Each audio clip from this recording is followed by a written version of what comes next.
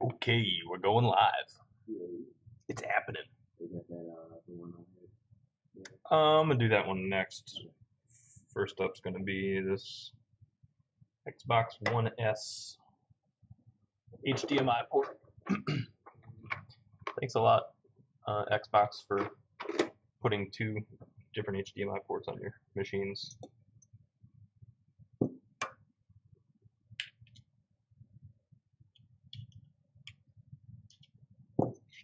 Guess if that's that's the only thing I have to piss and moan about today. Is could be worse.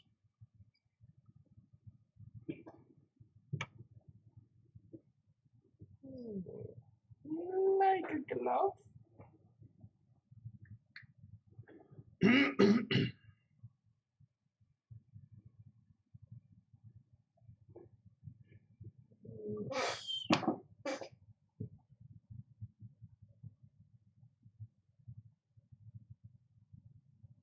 They got some. Got some big old beautiful pads to solder onto. On this thing, it's not like a regular USB or even like a uh, PlayStation HDMI port. Got all kind of real estate.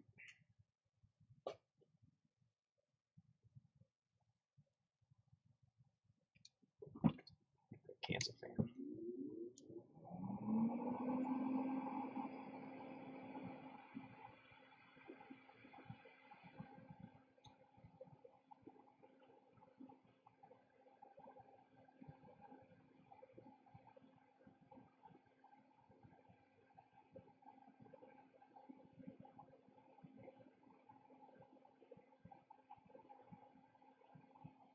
Oh, hello there. Are you watching me work?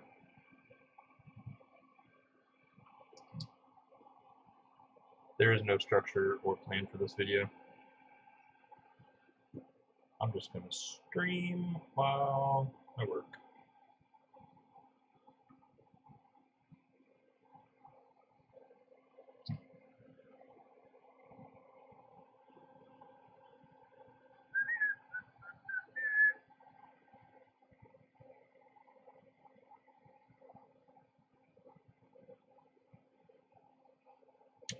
Oh, you don't want to watch me. You want to watch the action. Oh, this poor little laptop.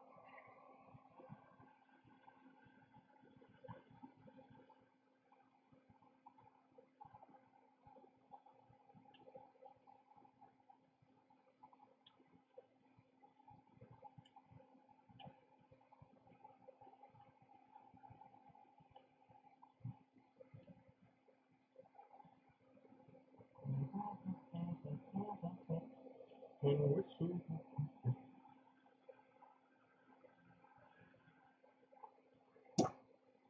so loud you twerk. Oh, we got a couple, of bridge connector right there.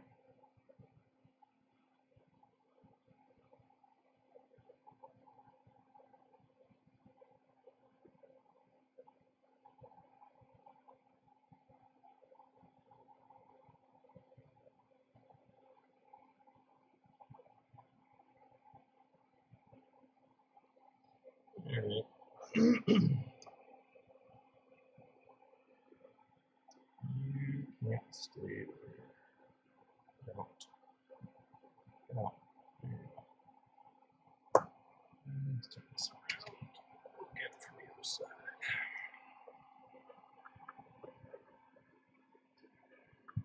Where'd you go? Where'd you go? Okay. Oh, yeah. Yeah, I'm still bridged. That's okay. That's okay.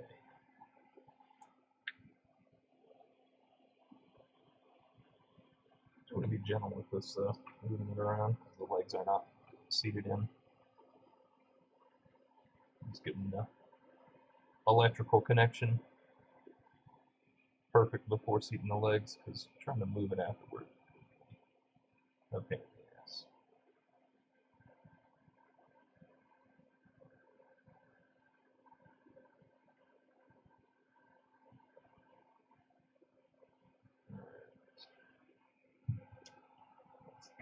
touch those a little bit. He said you gotta touch it in the back. No, don't touch it in the back. What? Touch it in the back. Oh. Those are solid. Some mess out of here.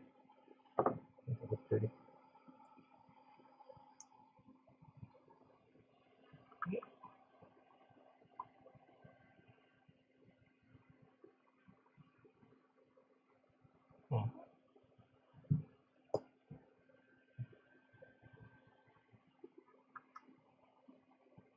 This nose pad look like shit.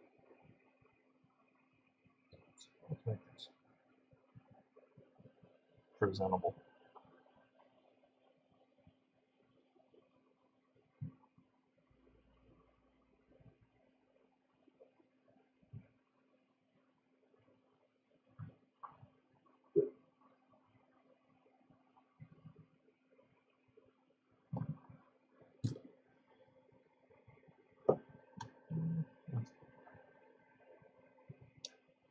That's gonna work just fine. Bump the temperature up a little bit. Start getting some solder down in the legs here. So it's secure. We want to heat up the whole leg. As much surface area as we can with the iron here. Look at it go. Look at it go.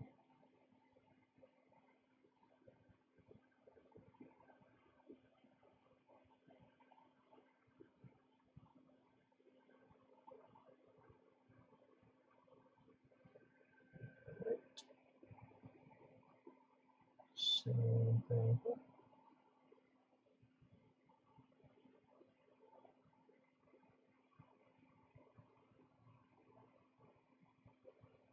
Yeah, you take that solder. You take all of that solder. You know you want it. Alright, I might use the the other ones from this side.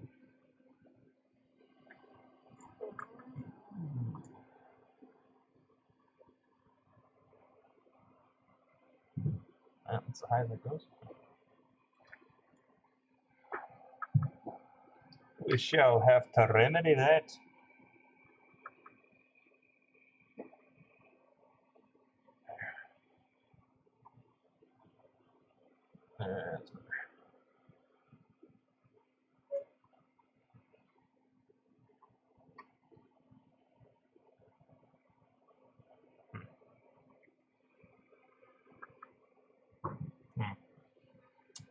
Hmm. Big hmm.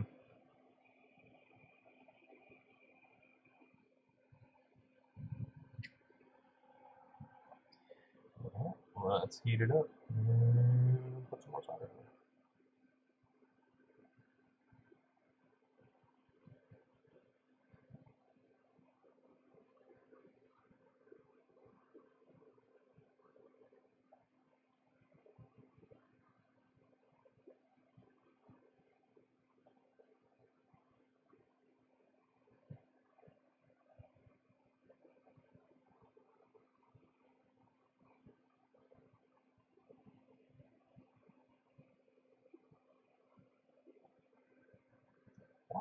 this leg not sticking through? It's either shorter than the other ones, or this thing is somehow on crooked. I'm pretty sure it's not on crooked.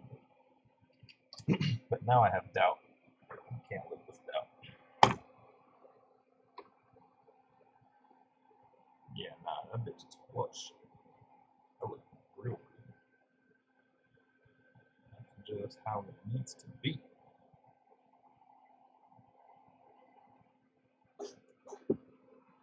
Okay. Xbox One S HDMI port. Done. Next.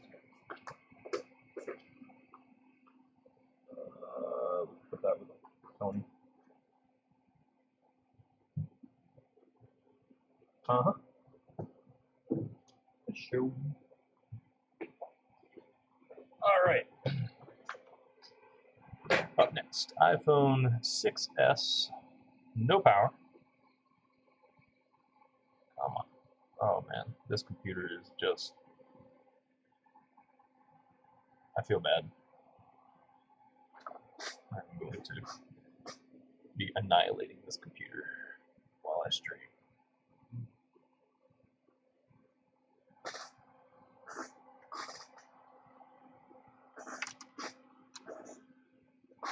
The stream ever makes money, I can put all of it towards uh, upgrades to make the stream better.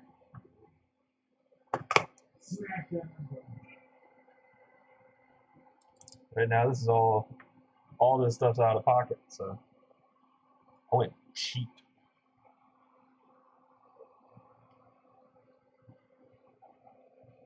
I did price out a, a streaming computer though, and you could build something that'll definitely get the job done like pretty well. Minus a video card, which I already have. I was looking at like 800 bucks to build a, a Ryzen 1700 system. No, it'd be a desktop. Yeah. The big question is where do you put it? Like I'd have to. I think I'll probably end up just putting shelves everywhere around here. Okay, this is a 6S that came in dead. Battery's dead, USB pulls nothing. We charged the battery up and it turned on. USB still pulled nothing. And the battery died super quick. So I got a new charger port and a new battery plugged into it right now. You said your USB was pulling nothing? Mhm. I got 0.9 right now. Really? Yeah. 1.75. I don't think that's going to be TriStar. 1.8.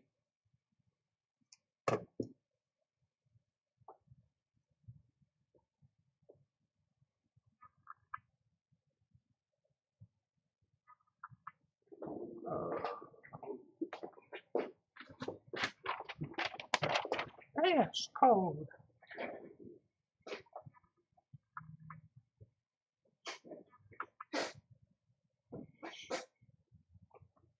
Okay, okay. Notice what time it is, because it's already connected to our guest Wi-Fi network.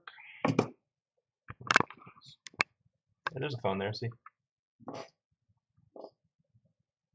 A aftermarket battery on it. USB is 1.7 right now, with the battery at around 55%. Hmm. Let's put it back in the housing. Well, we can. There's one thing we can try first, just for for curiosity's sake.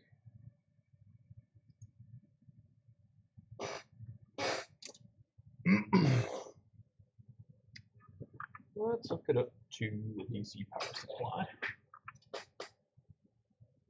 With my new squid cables. I just got the new version of the the iPower Red. This thing's pretty nice. It runs your charging port and battery through the same flex, and it just gives you a, a button to turn the phone on with, damn convenient. It's one of those things you you don't realize how much you like it or need it or want it until you actually use it, and then you don't want to go back. Yeah. And these cables, nice, flexible, thin FPC style cables are way better than the rigid ones from before. All right. Let's move this over.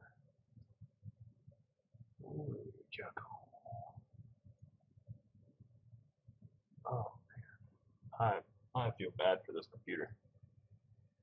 Can't even move the mouse around today. I think what we need to do is. Sorry, I'm not going to be able to keep up with commentary. I'll have to get a, a whole different computer to watch the streams with and talk to commentary. Alright, that's better. Okay.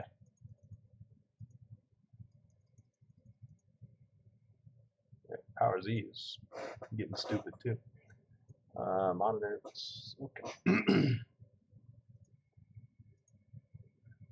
That's less than ideal, but alright. So here's Power Z. These are just giving a reading of what's going on on my DC power supply. So when I tell it to give activate battery voltage, there's no parasitic draw. So now we prompt it to boot. Of course, power is frozen. Let's try this again. Well, 0.26 right now, half an amp. It kind of fluctuates as it boots.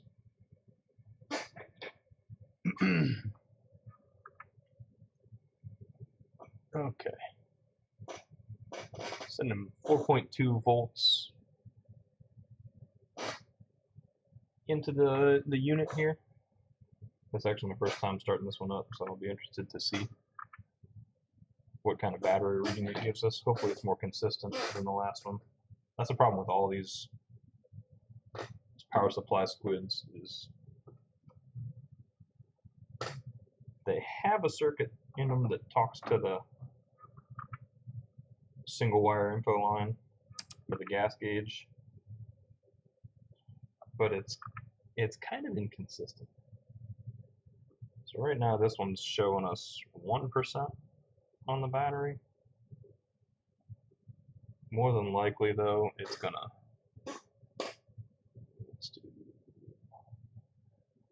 um, I'm gonna make a new scene here. This is live. You don't have anything better to do if you're watching this. Let's do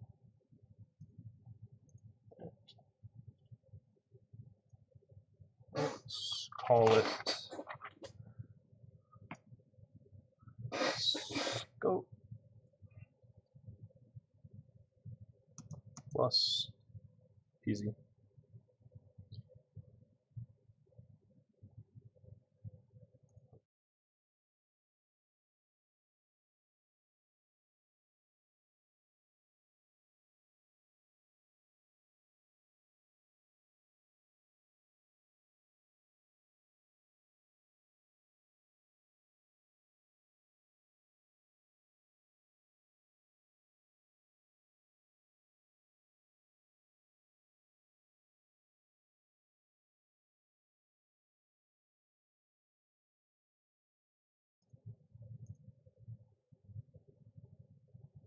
Hey, okay.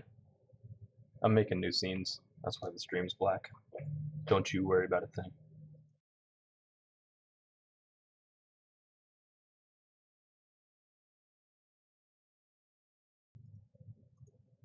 Okay. We're gonna add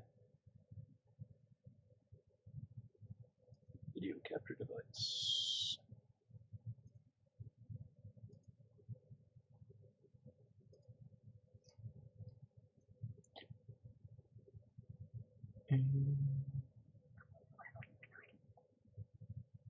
This video is going to be untitled. This is this is watch if you're totally bored and you want to see some stuff maybe get fixed, but mostly me screwing around with figuring out how to stream.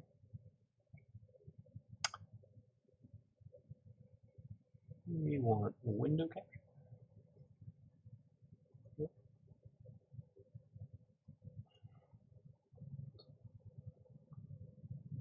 Power Z. Okay. Power Z. Oh yeah. Oh, look at that. That's beautiful.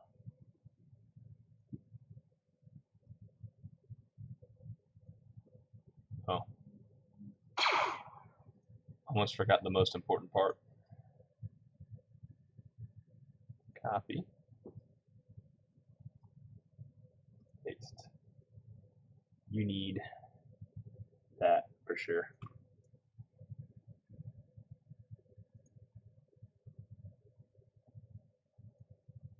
Where did he go? Mm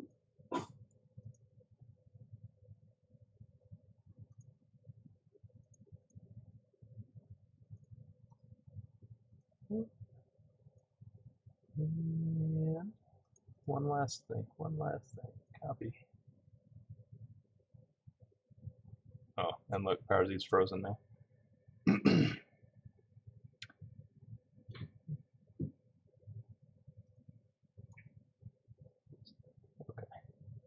Okay, okay, okay, okay, okay, okay, okay, okay, okay. You can't see it. I'm clicking 100,000 error messages. See, if we if we bump the current up a little bit on here, I'm gonna give it one more. We'll go to 4.3 volts instead. Is that gonna give us anything? No. It's even more confused now.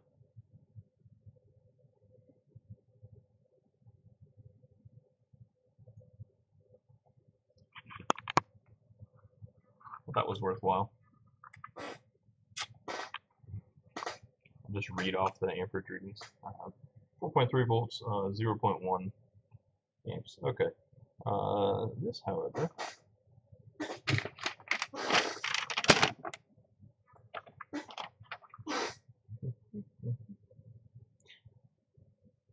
if you're ever dropping your phone off at a repair shop and you're hesitant about giving them your passcode because you think they're going to remember your passcode and steal your stuff, first off, check and see if they're reputable.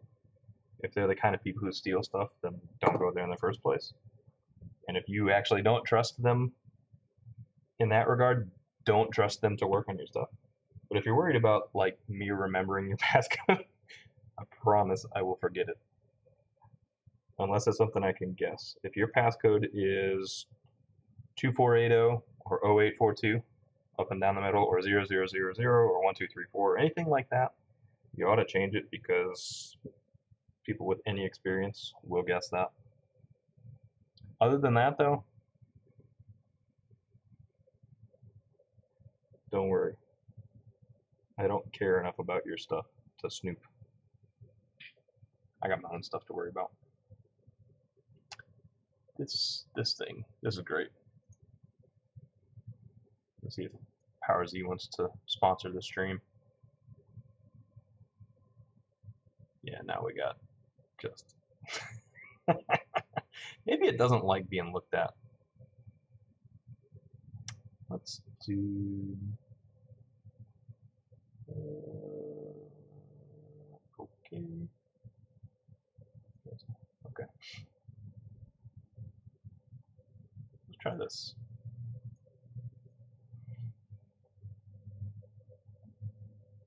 Launch it one more time. While the window's not being captured. Yeah, it's still active retarded. Okay, sorry. No power Z for you.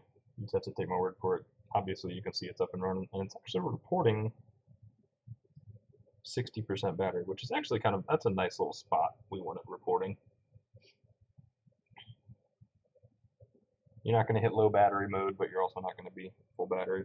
So, our current draw is pretty normal. Um, what I'd like to do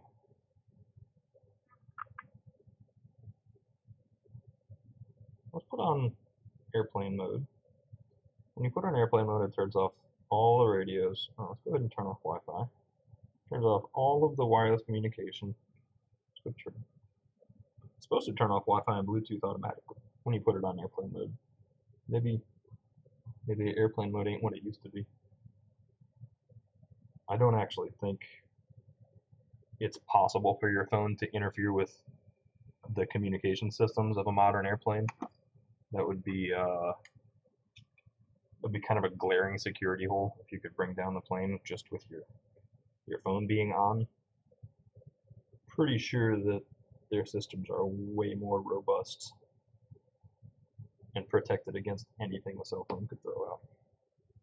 But if they tell you to put it on airplane mode or turn it off, Just listen. Just do it. And if we kick you off. Um, okay. so we're about 0.12 current draw right now. Uh, this is screen off, no radios on, no wireless communication whatsoever. That should drop. wonder if the train can be heard.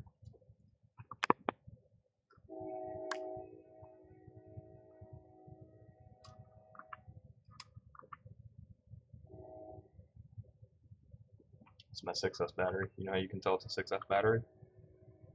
Because I wrote 6S on it. Actually, camera. 6S battery.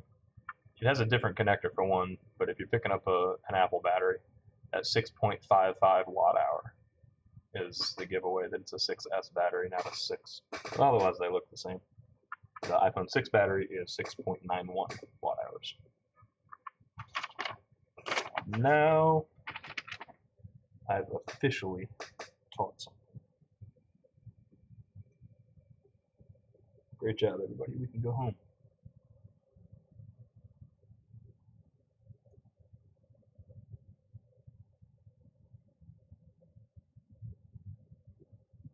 Power Z's back. Just don't look it in the eye.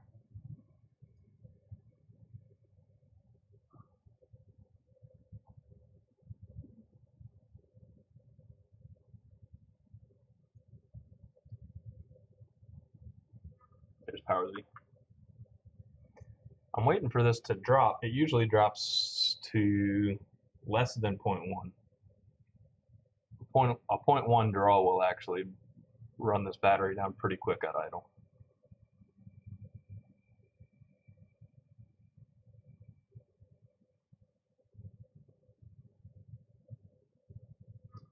Tracking this down could be very difficult. So it goes up to 0.3, 0.2 or so when the screen's on. The Screen's back off.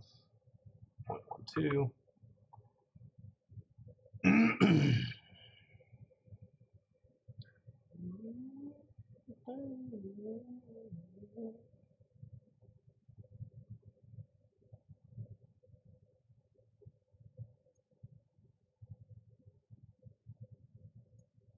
The reason I insist on trying to use this tool is because it does some really cool stuff. You hit this run pause button. It's actually going to create a graph for us. Probably should have started doing that a while ago. so it's going to create a graph and it'll even zoom in and out and scale it automatically while it's running. So I guess we'll just run this for, I don't know, 15, 20 minutes.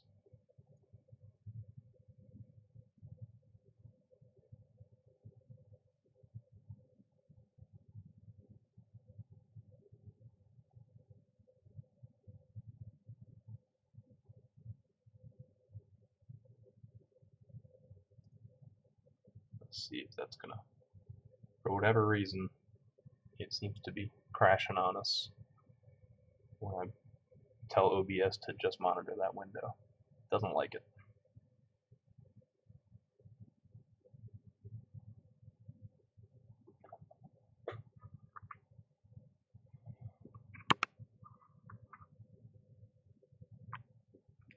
I'm not trying to see me. Look at my revenge poster. So eventually I want to fill up this entire divider with movie posters. Got a good start. We got one, dude. It starts with one. Just ask Linkin Park.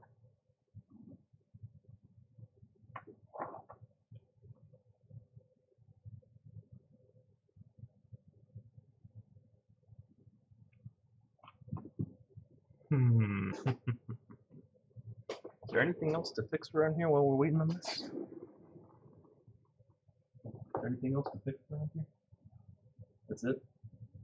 We fixed everything in the whole city. Oh, wait, no.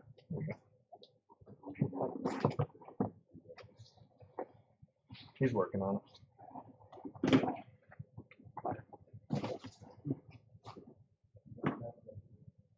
Hmm? I'm working on it right now. There goes Power Z, freezing on us again. This um, the stream brought to you by Power Z by Charger Lab. Really can't vouch for this product enough. Uh, it never fails, and I never lie. Hmm. hmm, hmm. Okay, meantime, I'm just gonna set this over here. I want I want to see if any period of time will cause this to drop below 0.1. Ordinarily, uh, when a phone is at idle, it's going to be like 0.2 or, or 0.02, 0.02 to 0.04 uh, it'll drop to. Um, 0.1 is, is a little bit too high. That's something is consuming extra current killing the battery in here. So, on to the next thing. We have an iPhone 7 Plus was sent in giving audio IC symptoms. So this one needs to charge up. Oh, there it goes. this will be fun. More waiting. We're not gonna wait. I'm gonna confirm that it's a long boot with a, a home button that clicks and okay, so we have the screen shut off and turn back on. Home button is clicking right now. So we'll give it another 10 15 seconds. Ordinarily, this phone would be on already. The phone thinks it's on. In fact, let's, uh, can do something. In fact, if we plug it into the computer, it's even telling the computer it's on, as evidenced by this. It's gonna make a liar out of me now.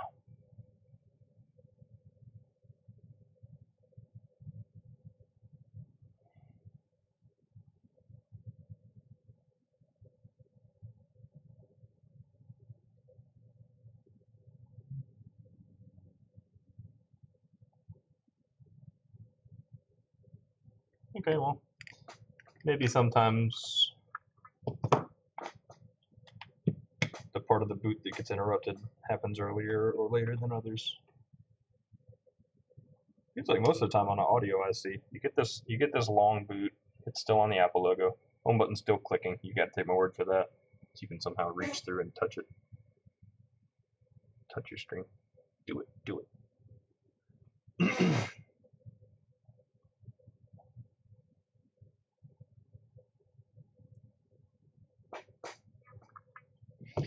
let's get this one apart.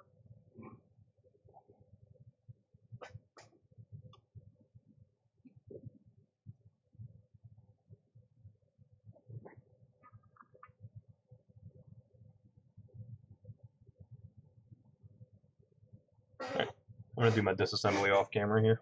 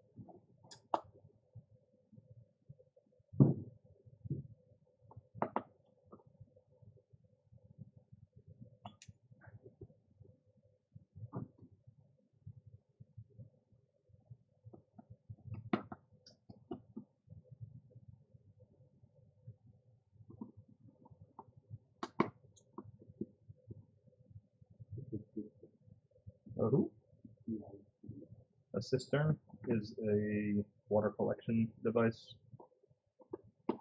Collect rainwater. It's like a it's like a personal water tower for your house. That's how rich folks used to have running water in their homes.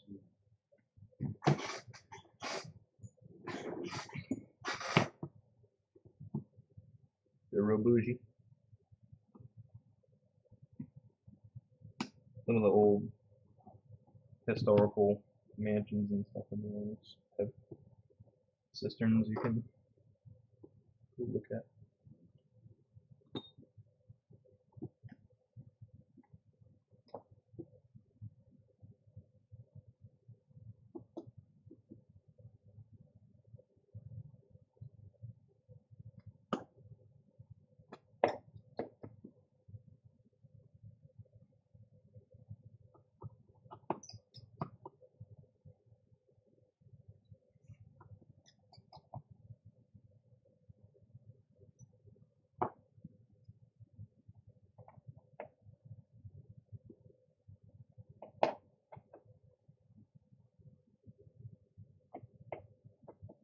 See that at? Some reading through an article where the dude uh, tracked over at his cabin. He lived there for years. He had uh, his table for wood. And every time somebody came over, they would question why the fuck he had it. It was so close to the soul. Awkward place. Another thing, bitch. So he, he, he, he was hiring a handyman to come do it. He told him about it. And the handyman was eager to do it. So they just, they read the article and do what they saw down there.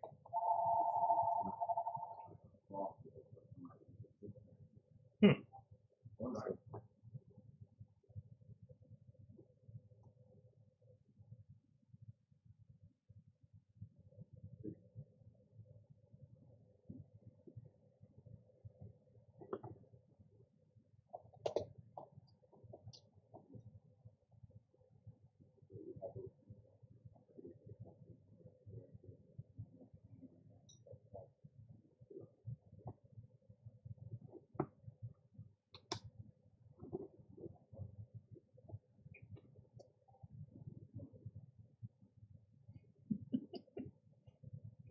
You you can tell he, he lived here for most of his life,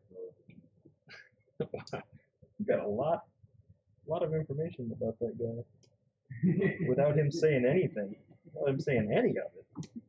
That dude was Asian, but he lived here most of his life. He's got two kids and one secret kid.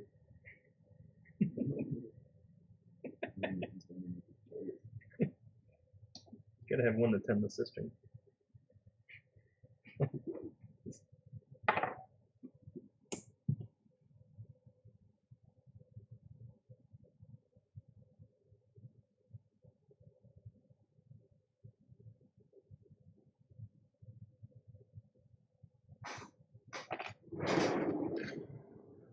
Okay, and we're back.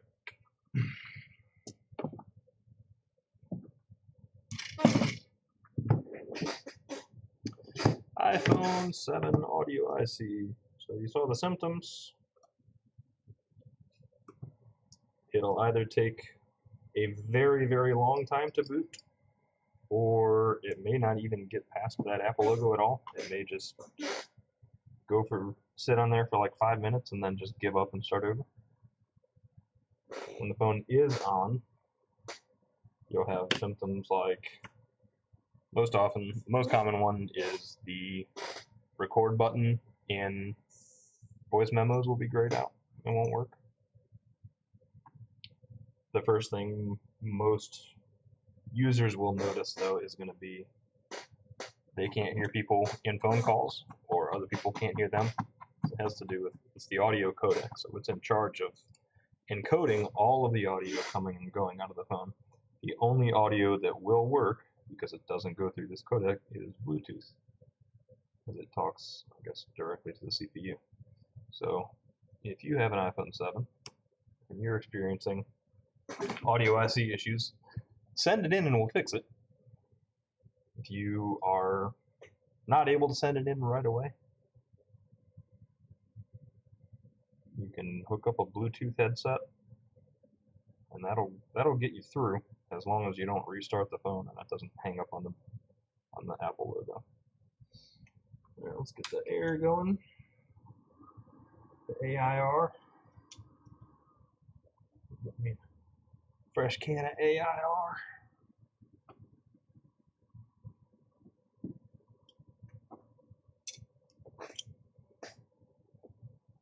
See if we got the email yet.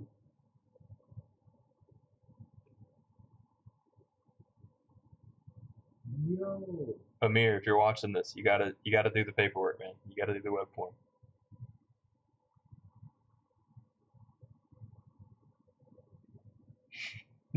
you like that call out? Congrats, by the way. You know what for.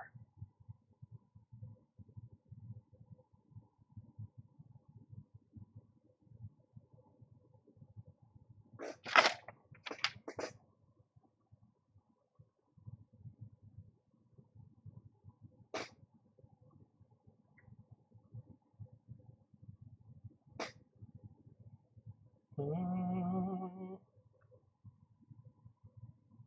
Mhm. Nope, nope, not that.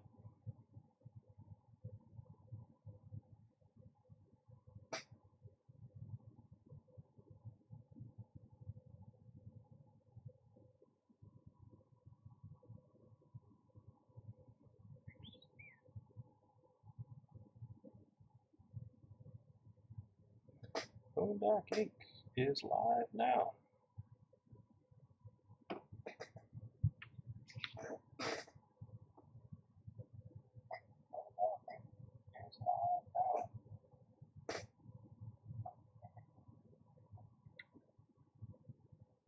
Okay. If you're commenting on YouTube, I can see your comments. I'll, peek at Twitch from time to time too.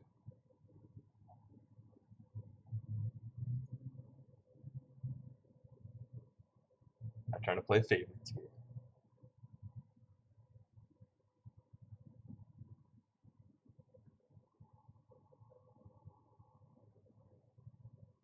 But YouTube's my favorite. Also Twitch.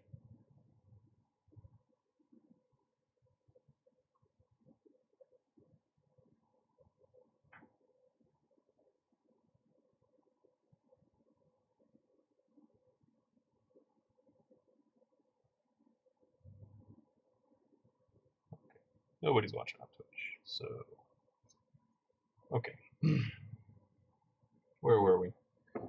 Hot air is hot.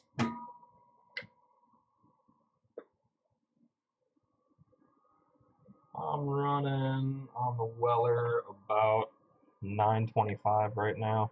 We'll see how that does. Maybe That's a that's Fahrenheit, not Celsius. For whatever reason, Weller, a German manufacturer, sends their hot air station with a analog dial in Fahrenheit. Now, I'm all about freedom height anyway. That's my that's my unit of choice.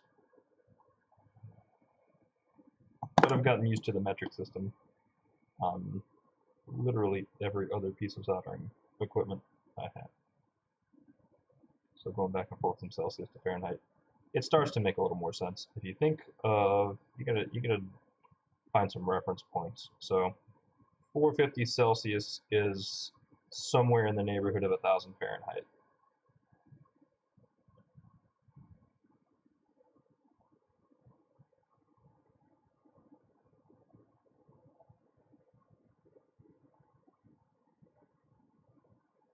Oh yeah, came right up.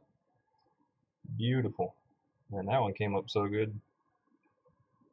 If you really, really tried to, you could convince me to not even reball.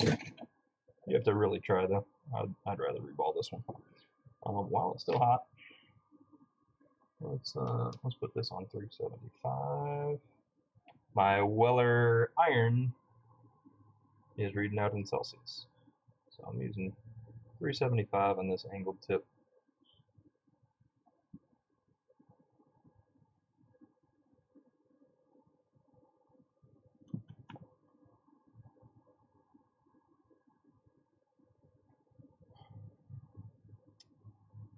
Heard a lot of praise for preheaters on iPhone 7 boards, so I've ordered mine.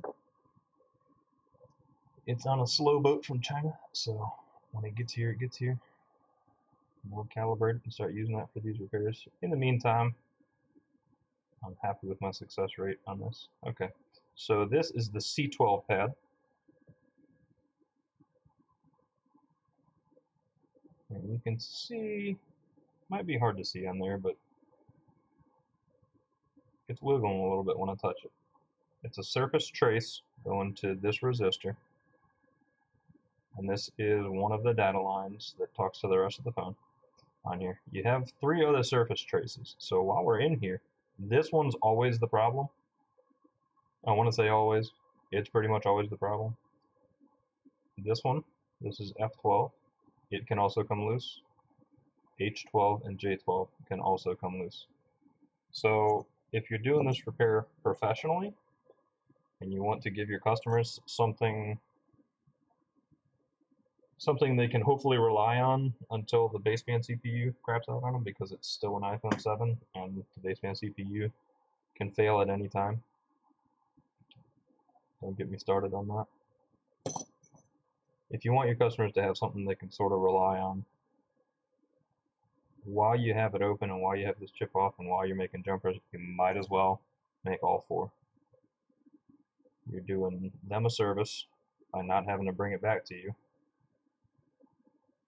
inconveniencing themselves for warranty work, and you're doing yourself a service by them not inconveniencing you with warranty work. So your goals are aligned in this in this scenario. More often you and your customers' goals and needs are aligned, the better experience they're going to have.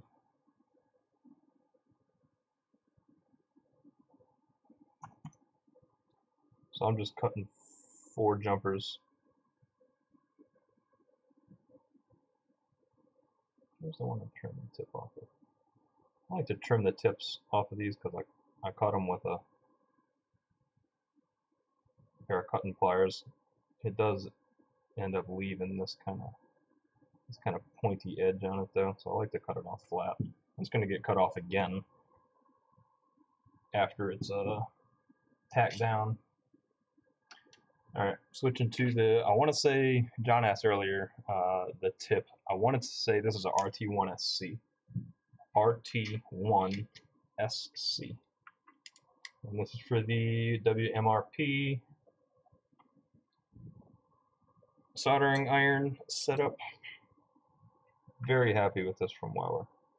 I've used the Hakkos before. There's nothing wrong with them. I I like my Weller. These tips run from 18 to 30 dollars and you'll get depending on how much you're using it I get I, I get a good six months out of a tip so they're not cheap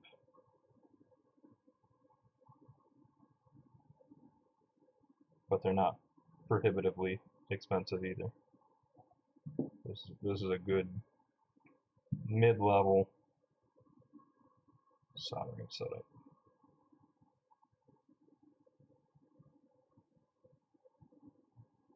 Alright, I don't know why I'm having so much trouble with this. Might be all the coffee I drank earlier. Just, let's just get it stabbed on that one first.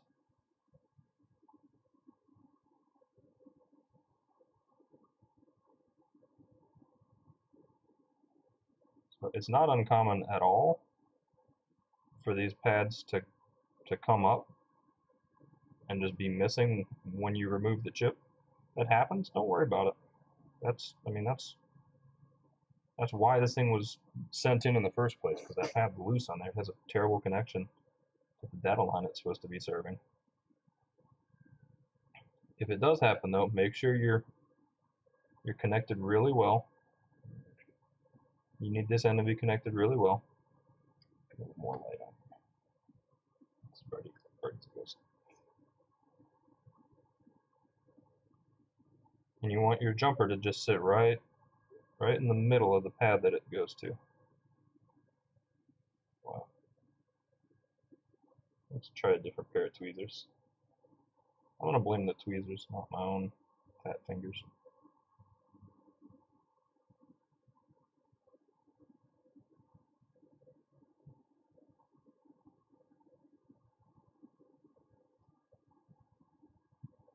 Get myself a little bit more natural angle here.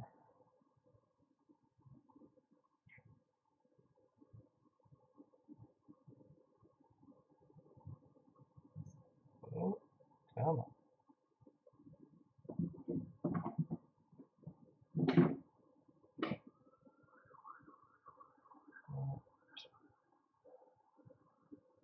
There's one.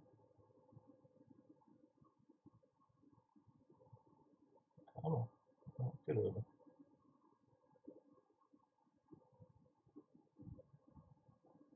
Two.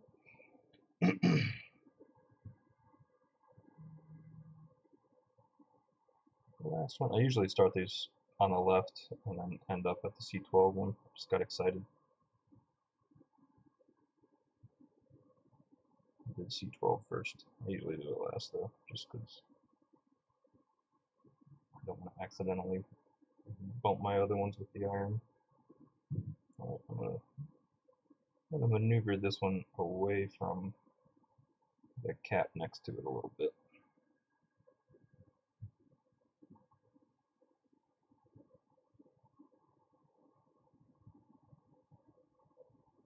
Okay.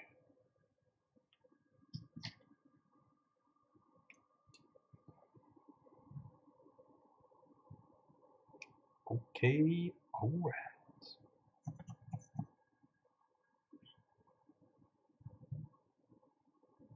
Yeah, look, there we go. Alright, so that pad is loose.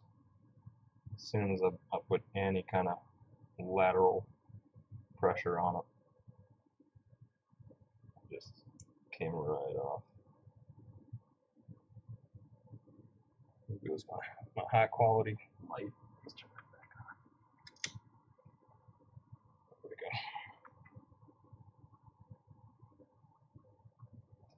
That being loose like that, if, it goes any further than that, you may want to think about redoing the jumper and just getting rid of the pad altogether. I think this one's going to ride. So as long as it does, we'll let it. With any sort of trouble after the fact, she gone. This one barely has any solder on it.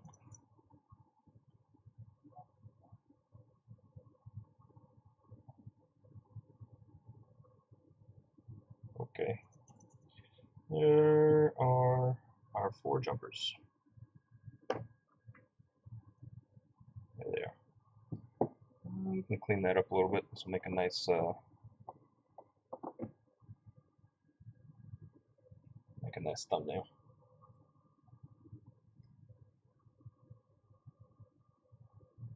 So there's no question anymore. The problem this phone was having was definitely audio IC. I wasn't questioning it anyway. But I did put my foot in my mouth a little bit by predicting that it would uh it would show up in normal mode on 3uTools.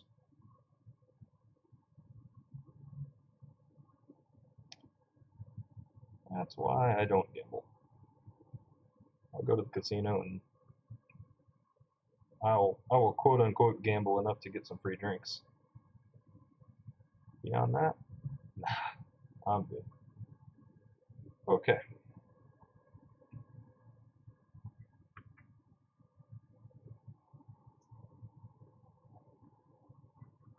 That one looks really gross, doesn't it? Once once the hot air gets it and, and heats it up, I don't want to molest it any further because it's it will get worse. Once the hot air gets to it, everything's gonna cinch back into place. This out of here.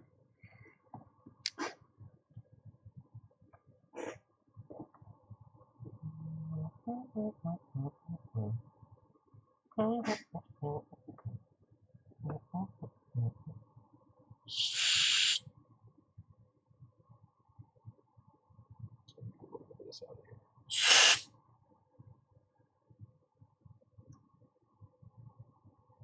you're watching the Touch IC video earlier, this is my quick and dirty method for getting flux out of places I don't necessarily want it. If you really need to get the flux out completely, you need to run it through an ultrasonic cleaner. It's- the only thing that's actually going to remove it. Hmm. Now that it's now that it's nice and visible, not crazy about that connection. I think it'll run though. I'm gonna look at it real carefully once the once the not the new chip. We're not putting a new chip. Just like the Touch SE, there's nothing wrong with this chip. But once this reballed chip goes back down, we're gonna inspect it very carefully and make sure we have a very good, solid, visible connection to each of those. All right. Make sure this is on 375. Make sure we have the appropriate tip. Also make sure I don't burn my DC power supply cables. That 6S is still idling at 0.1, so we think we got a parasitic draw in there somewhere. That'll be fun. Got about two hours before I gotta go. We may or may not find it. If we find the problem, this might actually be a good video. If not,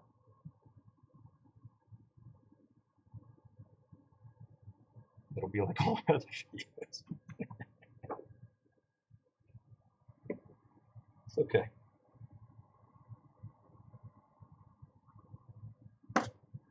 It's okay because I said it's okay.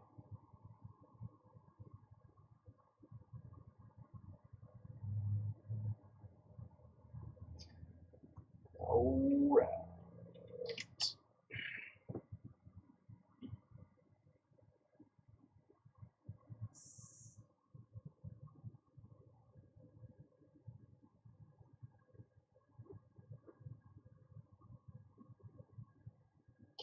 I'm doing alright. Alright.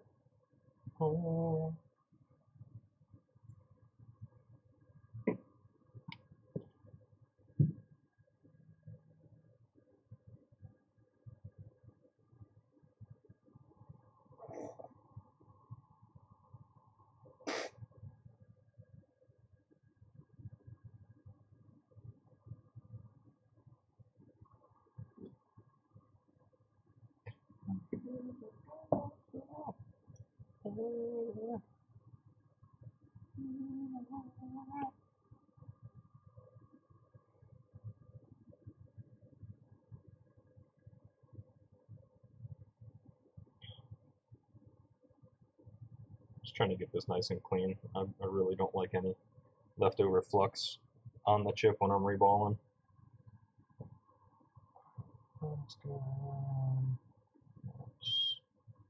Clean and dry. That unevenness is perfectly fine as long as the as long as the solder paste has something to stick to, it's gonna stick.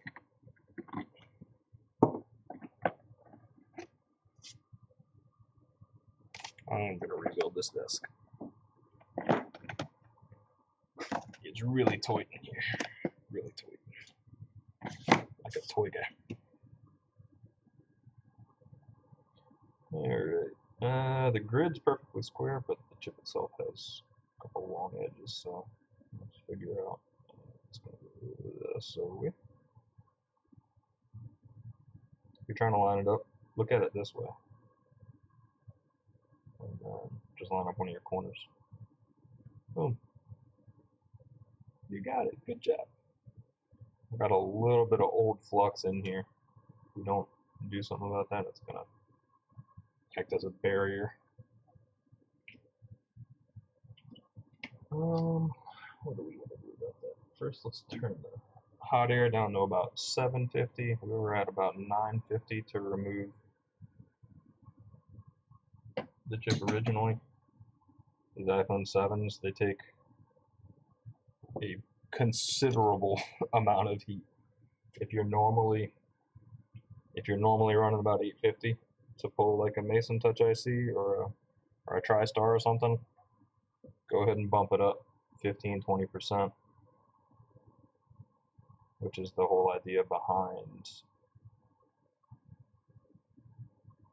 why people are using bottom heaters and preheaters on these. Directly opposite on the other side of the board from this audio IC is the the fabled baseband CPU. So if you put too much heat on here, you got a baseband CPU that wants to die. Like it's, I don't know how else to describe it. These things are just trash, honestly. Pull some flux out here before we hit it with the air. Too much heat on there, you'll you'll bridge pads under that underfilled baseband CPU, and um, you just took a relatively easy routine repair and you turned it into a oops, I killed your phone.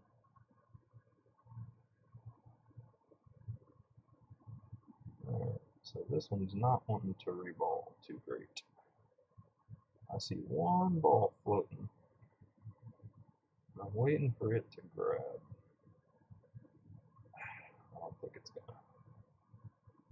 I don't think it's gonna. I think I'm gonna have to stuff some more paste in that one little spot. Just wait for all of these to to cool and harden. Yep, see that one? Why are you like this? Who did this to you? Just get that stupid little thing to, stick. I think this will be a decent reball.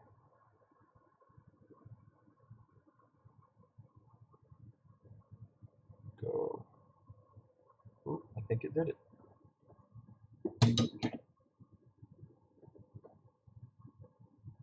Just had to express my disappointment in it.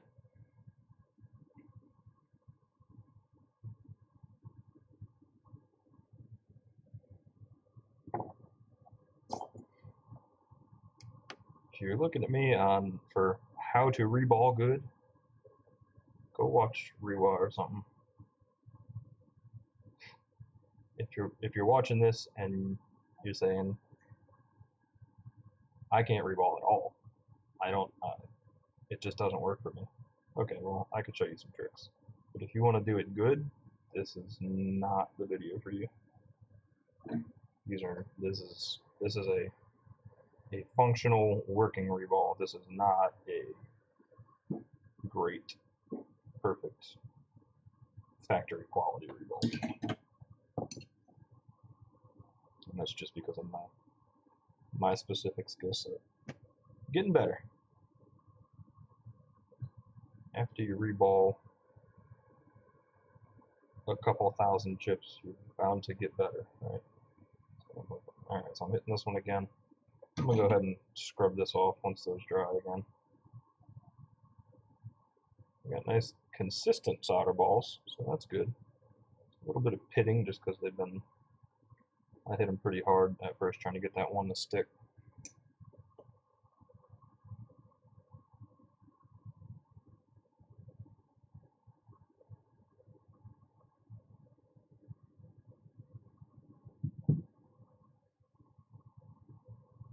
Let me see this from the edge. I'm just looking to make sure we have a, a consistent grid. There's no high spots or anything. We like to close one eye while we do this just to just to make sure the ball's pretty. If you're not making sure your balls are pretty, you're gonna have a bad time. pretty balls are good balls. Oh yeah, so I was gonna clean that, didn't I? Okay, I'll clean it.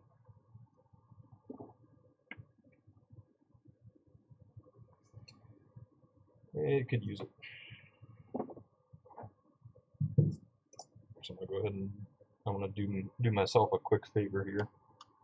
I'm gonna clean this too. This is a a medium bristle toothbrush.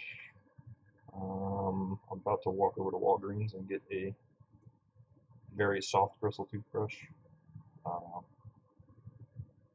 a small medium bristle paintbrush would probably work really well for this.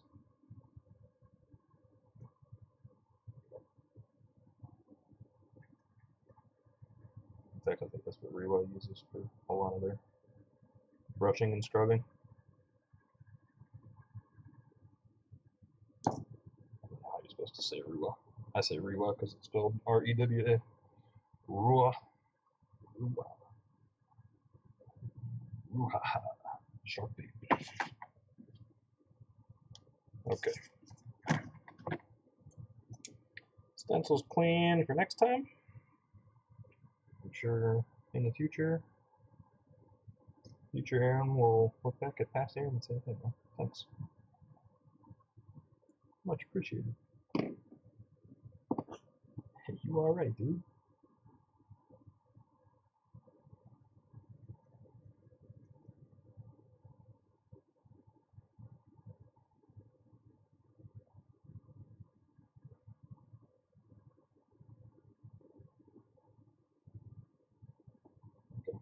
A lot that's out. There's still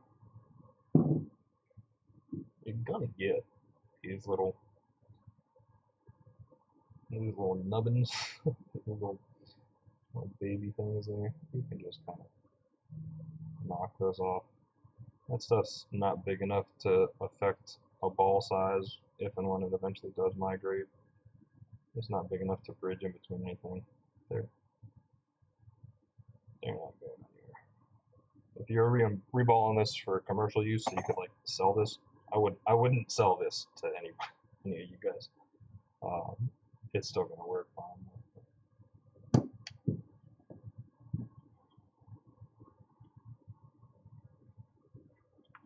Okay. Oh, that's that's pretty. That's gonna be good.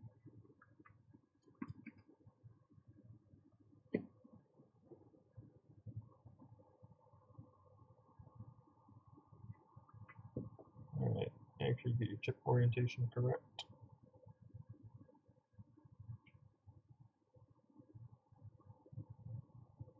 You can see the damn thing. I'm like 99% sure I got it.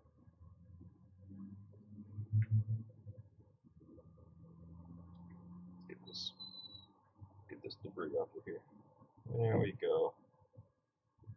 There you are.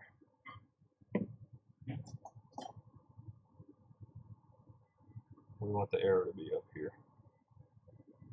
And it is. Okay. Confirmed. Put a little bit of flux in here. That's plenty. That's going to spread out underneath there. You don't want it spreading out underneath the rest of the entire board. On this side. Alright, let's get this thing mostly centered. We can keep it on the same same setting that we used to, to reball it, which is lower than what we used to remove it because we're using a leaded solder paste that's going to melt at a lower temperature than what was on there before. A lot of benefits to, to using leaded paste here. Not only does it melt at a lower temperature and, and give you more breathing room to not damage the board, once it when it is hardened, it's more malleable. It's a more flexible ball. So as this as this phone flexes and twists and bends in the pocket of the user, or as it's being used, that's how this stuff comes loose in the first place. That's how the pad comes loose in the first place. So it's much less rigid, less likely to, to crack, more likely to stretch or bend on a microscopic scale.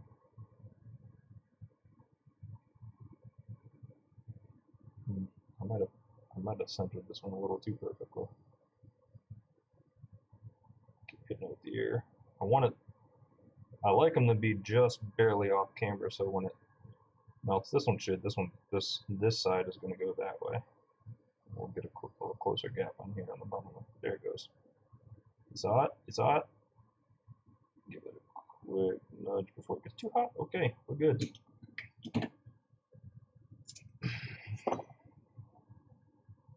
I got a little excited there. did you see it? Did you see it? Did you? Did you?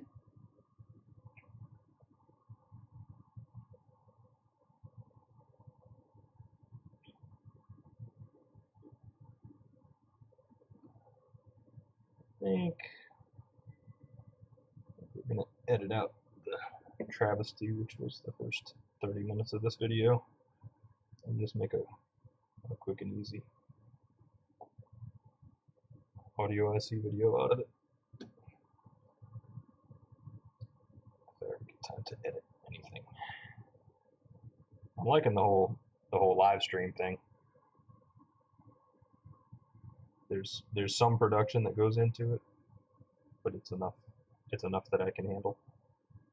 I don't think I could record a video, pull the pertinent stuff out of it, edited into a usable video. That's not gonna happen for a while. Also, this isn't Intel baseband. It's an Intel baseband power management chip, so it's gonna have an Intel baseband CPU much more fragile than the Qualcomms. So very important to not put too much heat here. I'm going to zoom in one more time on my jumpers. I want to make sure that they still have a good connection. I just want to see the solder glob on the end of the resistor and hold on to the jumper really well. So there and there. And this is this is the only one that wasn't great, but it does look like it has a solid connection. So we're gonna let it ride. this cool off. Okay. If you're just on the edge of your seat waiting to use the bathroom, now would be a good time to do that. I'm going to go put this back together off camera. And we'll be back to see if anything got fixed. Clean up some of my paste here.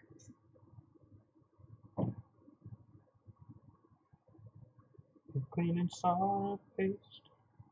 Oh yeah.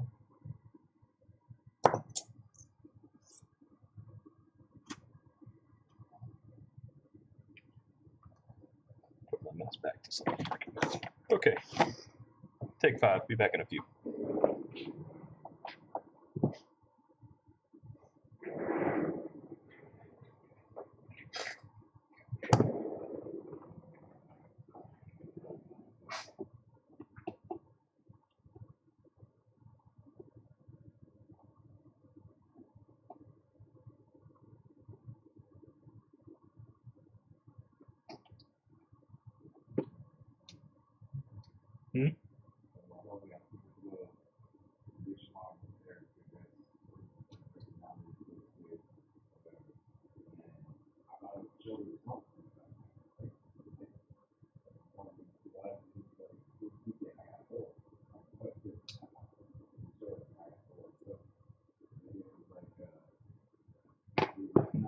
More of a drag.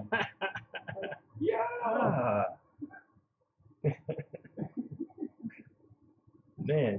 Straight for the kill.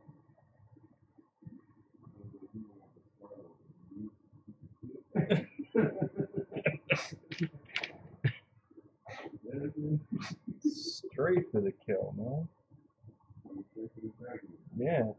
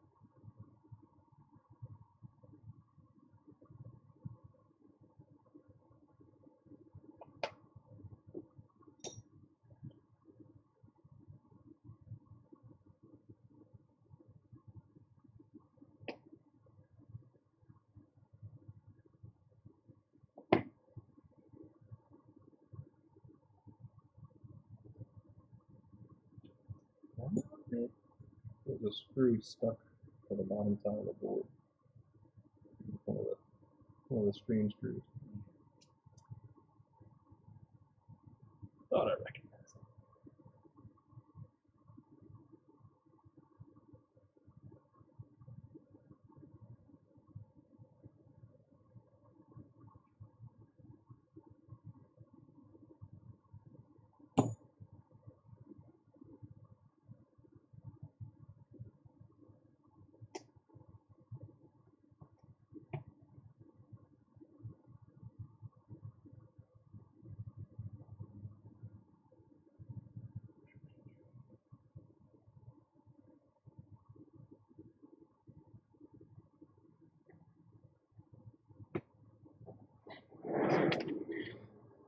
Okay, and we're back.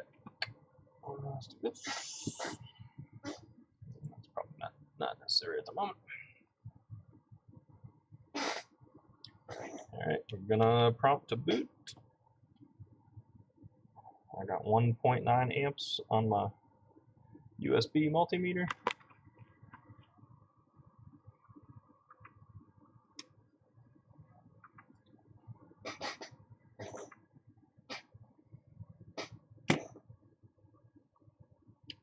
Here's our flash. That's a normal thing in iOS 11. First time I saw it on a 6. Uh, oh, crap, my pants. What? Okay. Notice how much faster that was. Alright, I do not have a passcode on this one. Because somebody didn't fill out their paperwork properly. Somebody. Uh, I'm not going to guess a bunch, but so far so good. I'm going to get the I'm going to get this put back together. Uh, I'll get the passcode from the customer. We're going to check all the audio functions, and we're going to press star pound zero six pound. Make sure the IMEI is refreshing. Um, the fact that it says, can you see it? No sim, that's usually a good sign if you have something with baseband problems. Very often, uh, if there's no sim, it'll still say searching or no service. Um, even though there's no sim in it, it needs to know if there is or is not a sim. Alright, so set this one aside until I get my paperwork filled out. Seriously, guys, uh, when you send something in, it's really easy. Just fill out the web form. That gives me all the information I need to get this repair done quickly and efficiently and effectively. We're going to go back to our 6S in a minute here. I'm going to go set this aside.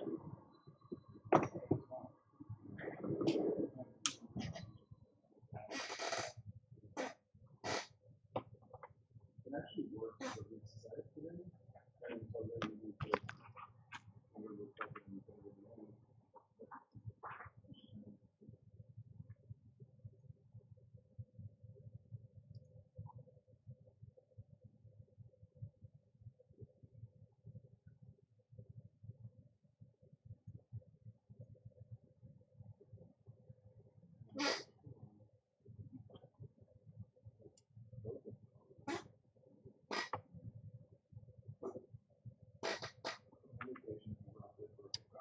Alright, so we're still pulling 0.103.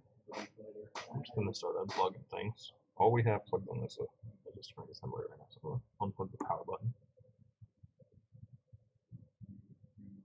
This is a 6S, so you do have to be careful. We have, a, have main energized with the battery.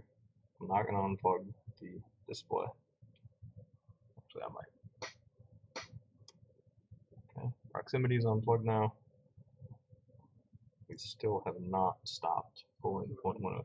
I'll Unplug the display. Still 0.103.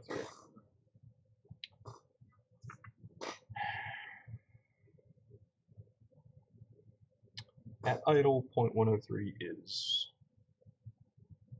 it's too much. Now we're 133. It probably knows when I'm playing the screen. so. for something. Let's turn it off.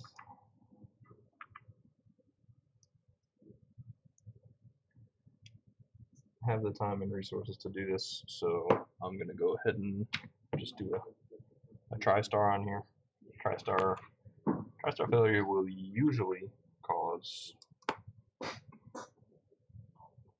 charging issues. the Point where the phone probably just will show it's plugged in but won't actually charge, or may not know it's plugged in, may not connect to the computer. TriStar is, is the chip that's in charge of telling the, the phone that the charger's plugged in. There's another chip on here called Tigris that actually charges the battery. But TriStar has to has to tell it to do so.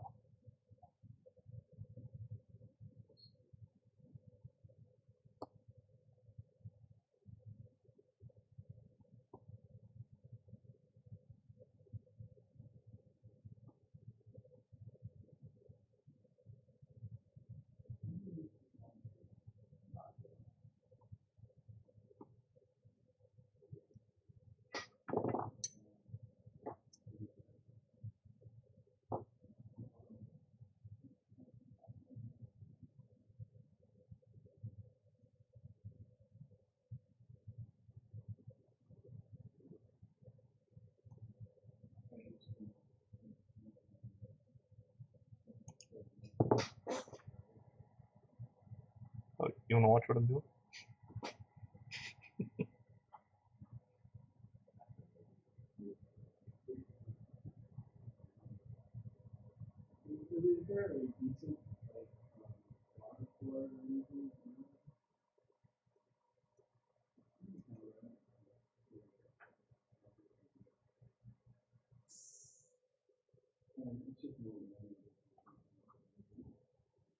Just getting all this hot glue away from the coax connectors for the antenna.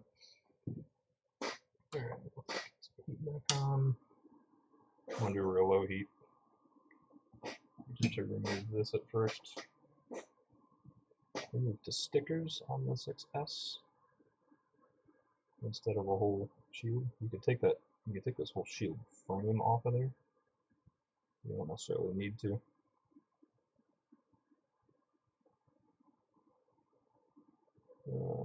Just loosening the adhesive with some low heat here.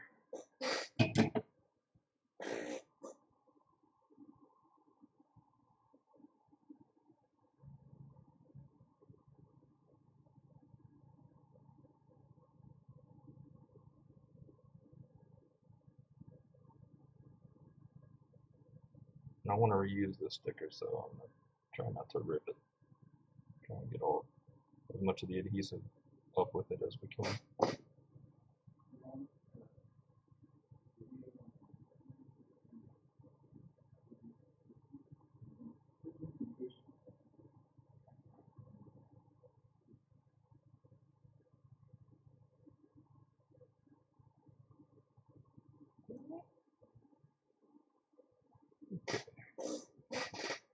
This with our phone, we don't forget to stick it back down when it goes in. Okay. TriStar is right here. This is a 1610A3.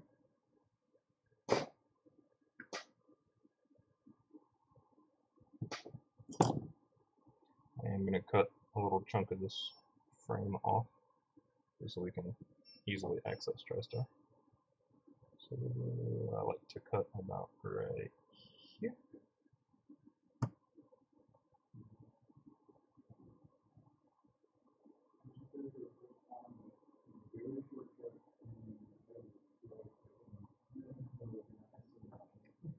And about right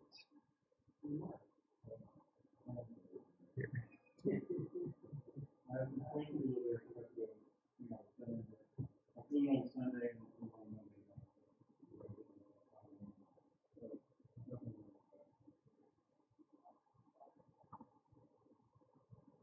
Trying to avoid bending the other side down into the chipset here. And also just trying to cut just what I need out of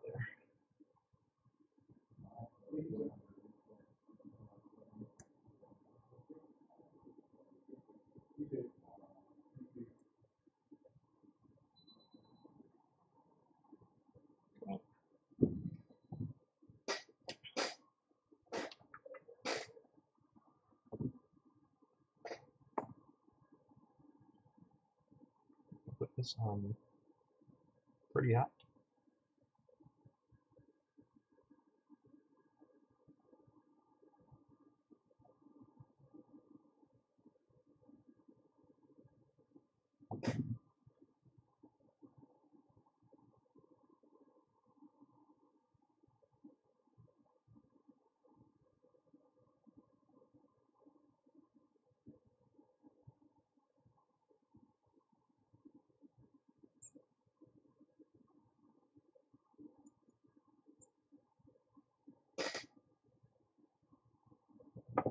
Bigger tip here.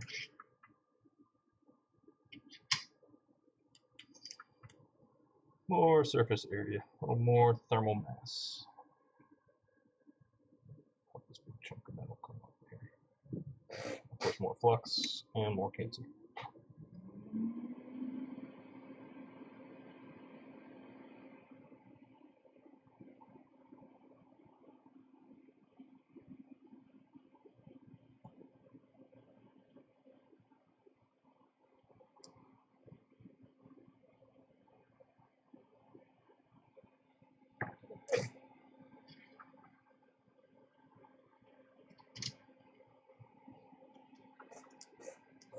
Pretty good.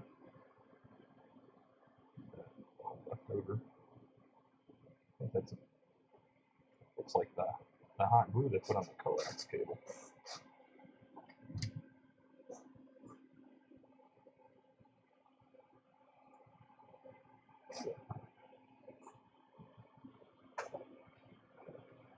Okay. Alright, so we can see TriStar pretty well now. Let's give it a tug. Anyway. TriStar can cause parasitic draw. At this point, unless unless one unless I'm totally wrong and one and three is fine for idle. I've seen phones idle at much lower than that though. I want to say like 0.2 to 0.4 is what you want to see.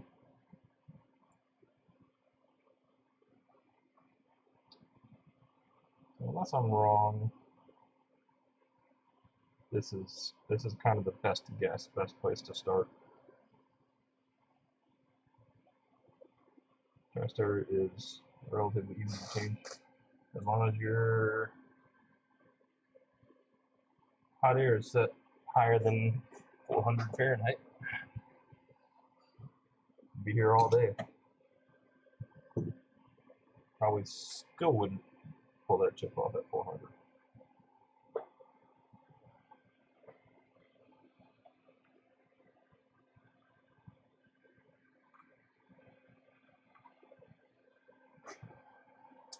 I'm gonna get a hook. Get a hook. Put this. You can't see it. Rearranging my my soldering irons here. I got them in a spot. They're gonna melt eventually. I'm gonna I'm gonna break something. So keep doing future me favors not break shit. Let's throw a heat sink on the NAND. Don't I don't want to have to pull up a NAND today.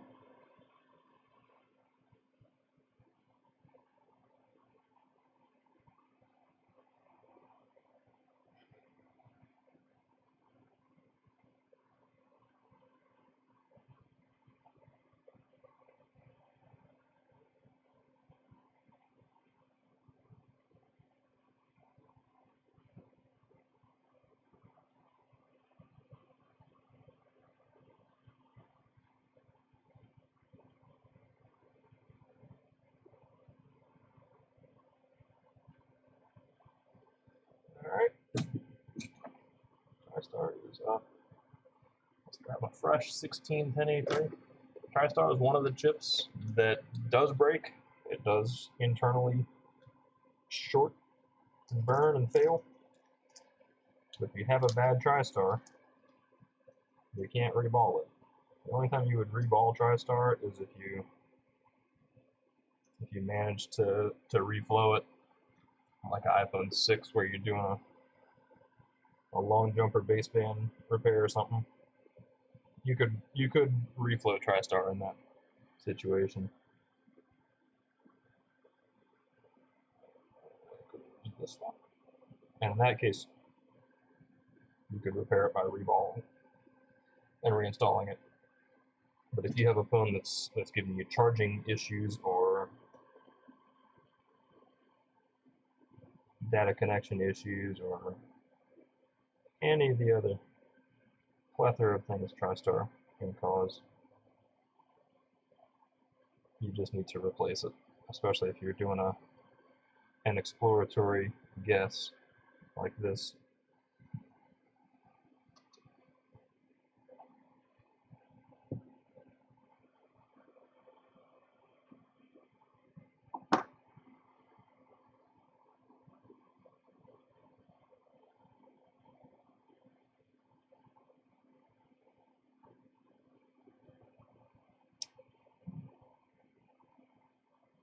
I'm, I'm just starting with TriStar because I'm trying to avoid using my brain today. You only, you only get so much brain.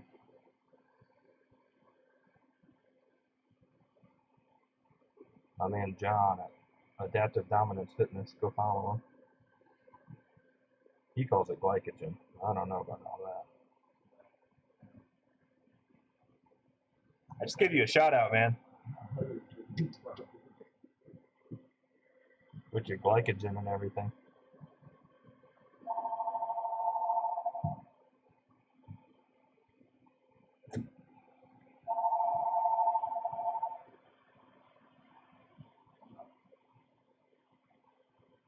I can tell my glycogen tank is running a little low.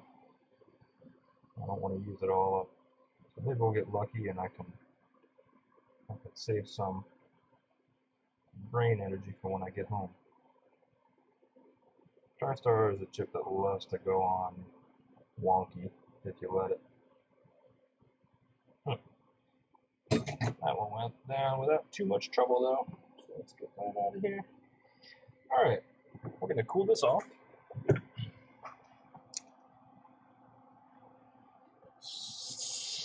Be cool, baby, be cool.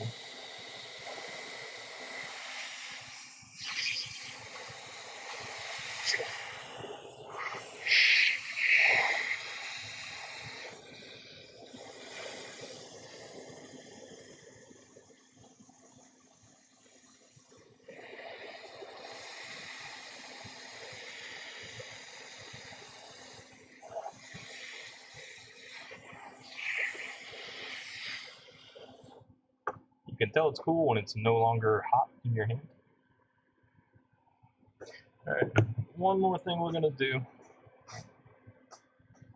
Just before it goes all the way back together. Well, I'm not putting it all the way back together anyway right now, but I want to test VCC main in diode mode, and I want to see if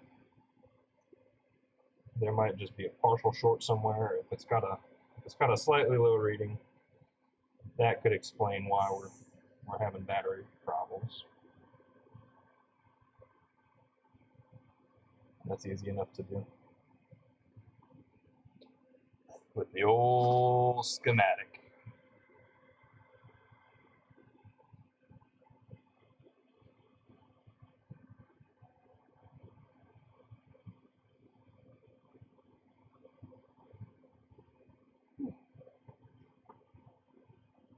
My flux here just burnt to a crisp. Just turned into black jelly. Ew. That's gross.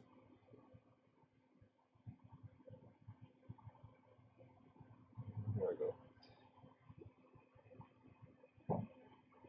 Cleaning is a compulsion.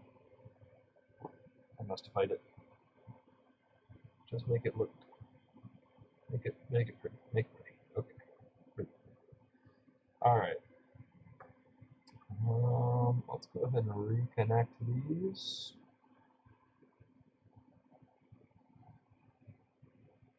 Correct cables for the antennas.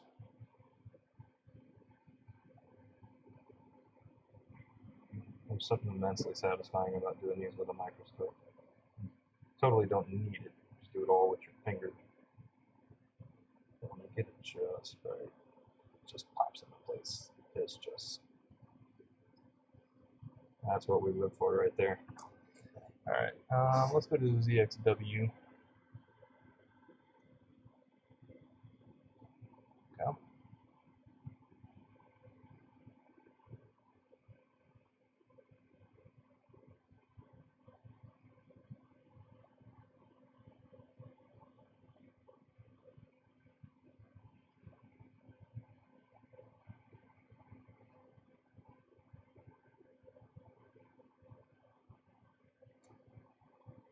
iPhone 6s. We're already right next to VCC main on TriStar, so let's just see which one it is. One of these VCC main. 0B9LDO3, Sonoid. No, no, bypass. TriStar pin. Oh, you know what? It's probably not actually. It's gonna be way down here by Tigris. Battery. 5DO, middle one's gonna be son of a. Hey, I found it. Alright, VCC. Alright. So these two are VCC.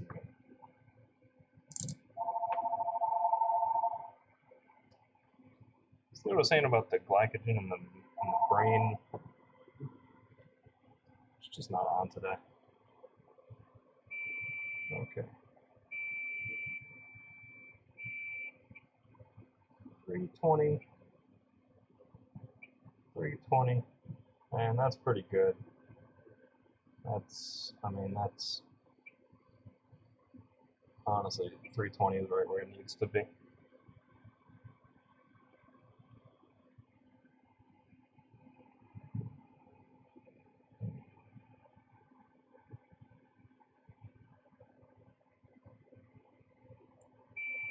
Two zero.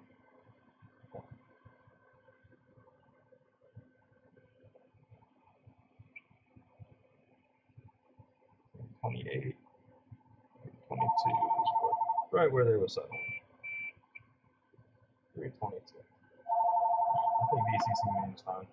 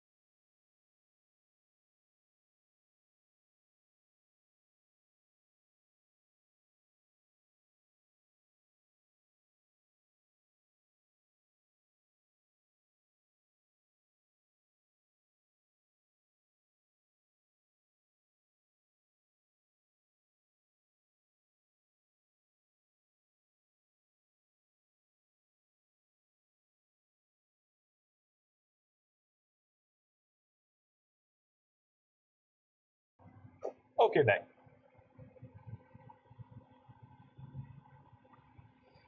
What were we doing here? VCC main is reading 322 on the old diode mode reading. So it's not the main power rail. Let's plug it in and see if we've had any change, any difference.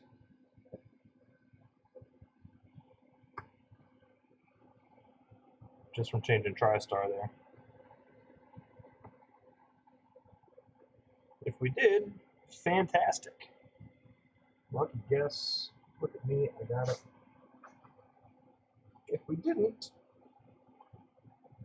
we can start testing other circuits for low resistance. I think that would be the the best thing to do is to get a grab ourselves a working 6S, known good board, and just start taking readings on all the major circuits that are that are on and see if we get anything lower than normal.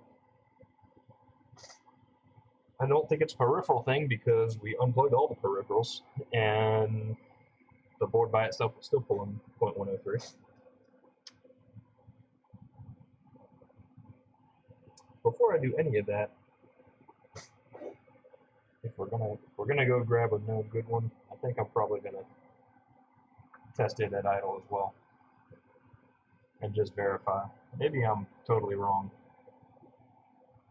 Maybe I just did TriStar for no reason. And it's just a bad battery.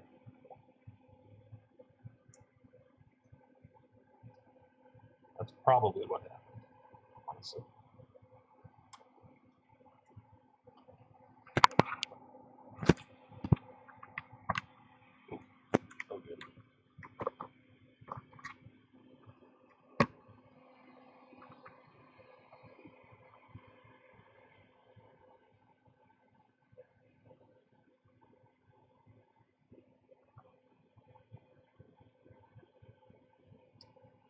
Was a power cycle. Yep, that's a power cycle.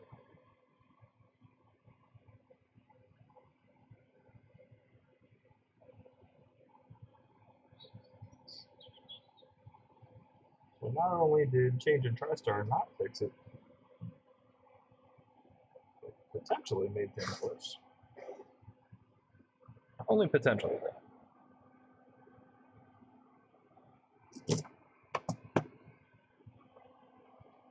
There's my test dock.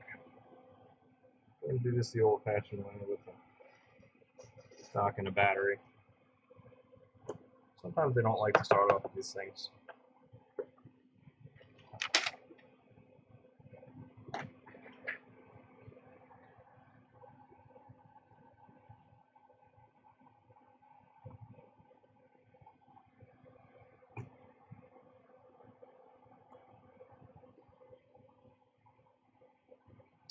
Alright, USB, USB is pulling 1.1 during a boot.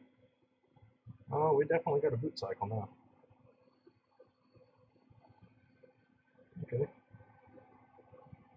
So that could mean I got a bad TriStar chip. I think that's where we're going to start.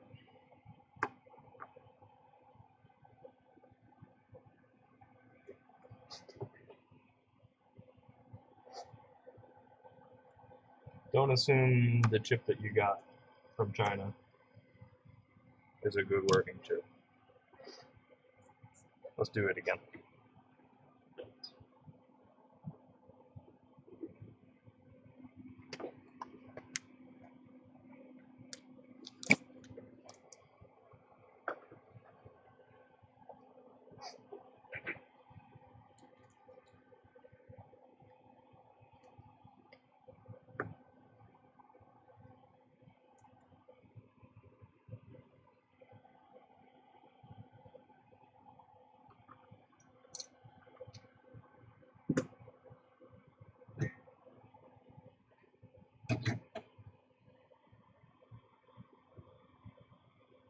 This coax cable's out of the way. I don't want to melt them.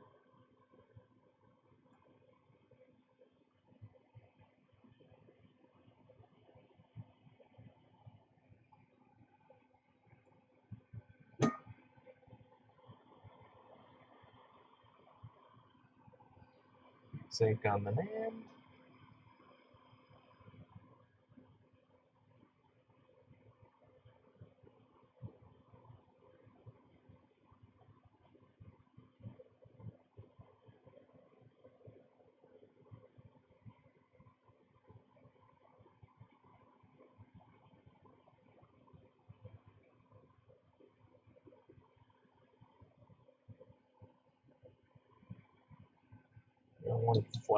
There. I think I'm just gonna drop the new TriStar right on top of this existing existing grid. We're not not gonna do all the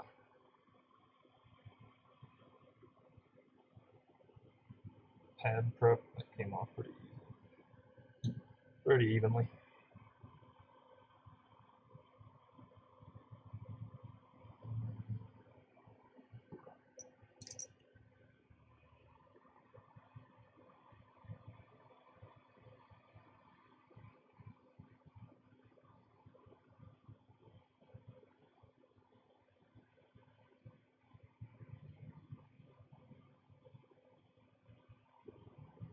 drop right into place. Quick nudge, okay.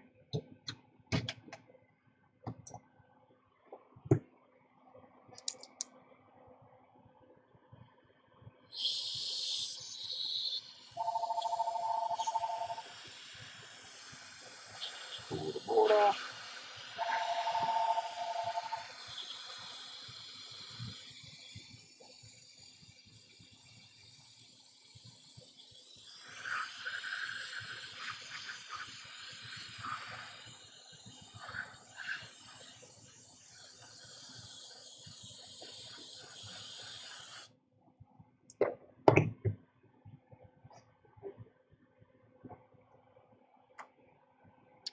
Let's do this one again.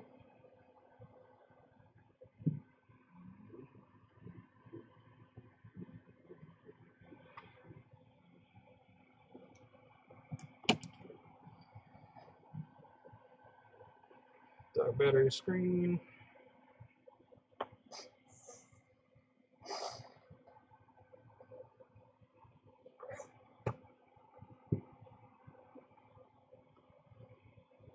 Maybe 0.43 prompt to boot, 1.1.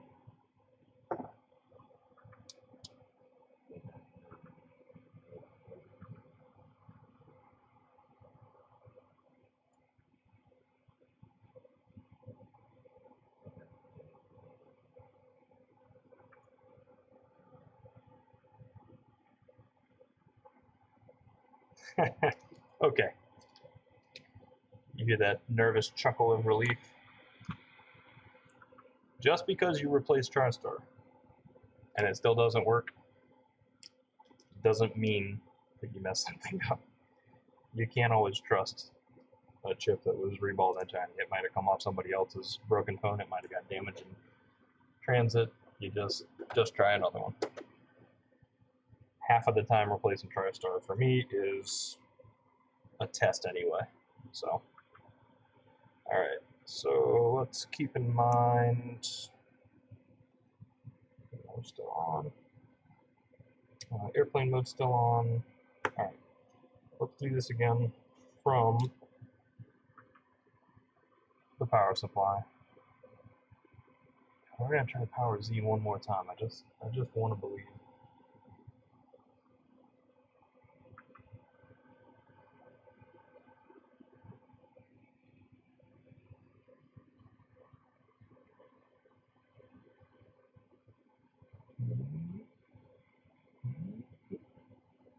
Okay.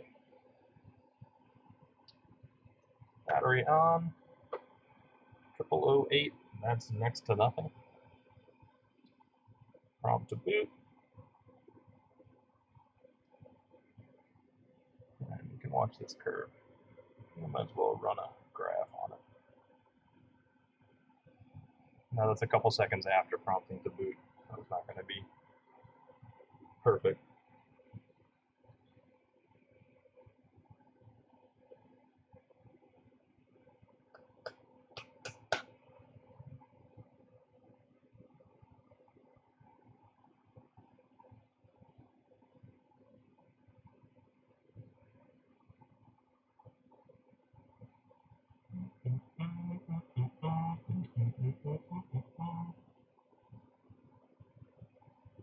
Interesting boot signature here. Maybe I'm just nervous, but it does seem like it's taking longer than normal. Let's turn these up in the meantime. It's definitely something it's taking longer than normal. But it's okay. All right, so we're at one percent battery. I'm not showing you the passcode. I'm not doing it.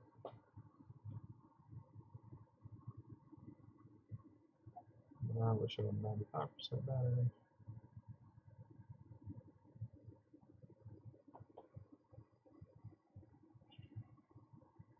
Why is touchscreen not responding?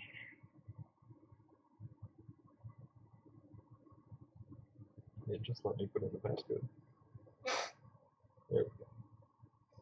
There we go. I'm just waiting for this to come up. So the phone's still still loading. It's just like your computer when you start it up at home. Especially if it's an old slow computer. I wouldn't necessarily call this an old slow phone, but you know when your computer starts up, it looks like everything's there, but you gotta wait a couple seconds. So we're gonna let it fully do that. Alright, now we're gonna lock the screen and we're gonna keep watching our amperage. So it's still one and a half to two and a half. Well, 0.12 to 2.2.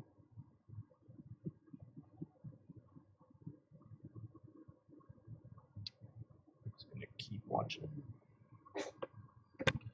and not look away.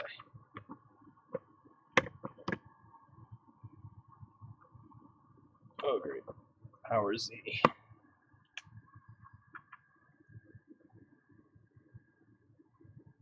But look at that. Look at that. Okay.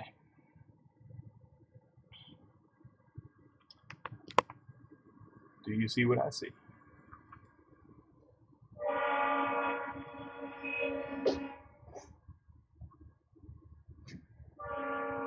Twice a day, my personal train rolls through.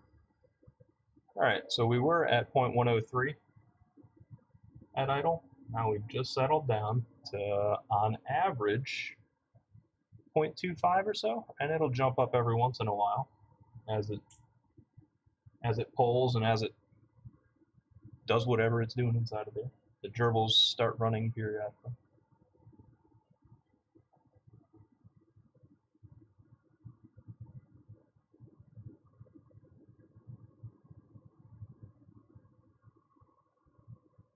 This is a much lower idle signature than what we had before. It was 0.103 constant.